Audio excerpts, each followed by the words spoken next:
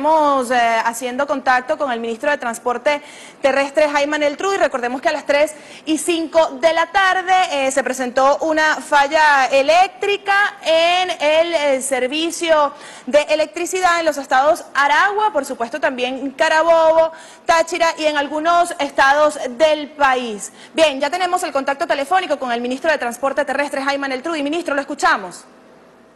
Bueno, muchas gracias. En esta ocasión para informar que eh, ya hemos sido autorizados por el despacho de carga de Corpoelec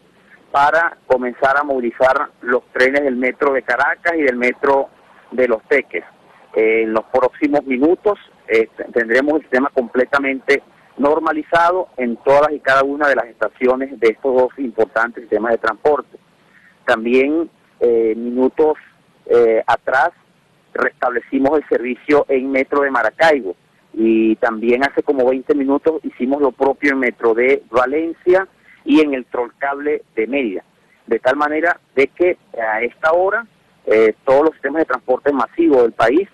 eh, ya se encuentran plenamente operativos, funcionando y aspiramos que en cuestión de minutos, eh, una vez mm, se hayan cumplido todos los protocolos de reapertura y de, reinicio del servicio podamos entonces eh, tener completamente normalizada eh, el funcionamiento del metro de Caracas, habida cuenta de que ya contamos con el suministro de energía eh, gracias a la pronta actuación de Corpoelec y a la priorización que le han dado a este importante medio de transporte. Ministro, quisiéramos saber cuáles serían entonces el, servicio metro que estaría entonces por restablecerse en los próximos minutos o en las próximas horas. No, no, te lo, te lo reitero de forma muy clara. El metro de Caracas, el metro de Los Teques, el metro de Maracaibo, el metro de Valencia, el Trollcable de Mérida, ya han comenzado a prestar servicio comercial. Ya hemos restablecido el suministro de energía eléctrica para poder mover los trenes y eso estamos haciendo eh, de tal manera de que invitamos a nuestros usuarios a que de manera controlada y organizada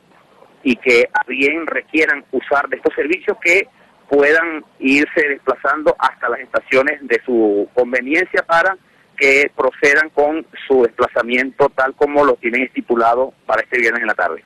Sí, ministro, de presentarse nuevamente esta falla eléctrica en estos sectores del país, ¿cuáles serían las medidas que se tomarían nuevamente entonces eh, por parte del metro de eh, nuestro territorio nacional? Bueno, mm,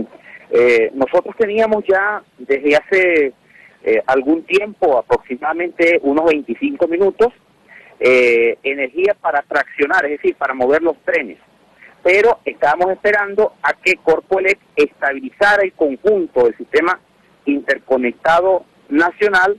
y que de esta manera nos diera luz verde para comenzar a mover los trenes y eso fue lo que esperamos. lo que te quiero decir con esto es que eh, corriente, suministro eléctrico tenemos hace rato y Corpoelec, habiendo ya revisado, eh, digamos, todos los parámetros de comportamiento de la energía eléctrica que alimenta al metro de Caracas y estando seguros de que no hay ningún tipo de eh, posible perturbación nos ha autorizado para iniciar el servicio. No, no, no creemos que eventualmente pueda suceder algún inconveniente en el corto plazo, pero si esto ocurriese, pues eh, eh, nuestros equipos saben actuar conforme a los protocolos de actuación para este tipo de casos. Lo importante es que los usuarios eh, presten el debido cuidado, la debida atención a las indicaciones del personal operativo para que, eh, tal como ocurre en situaciones similares, podamos nosotros comportarnos conforme a los movimientos necesarios para garantizar la seguridad de todos y de todas. Bien, agradecemos al ministro de Transporte Terrestre, Jaime Neltrudis.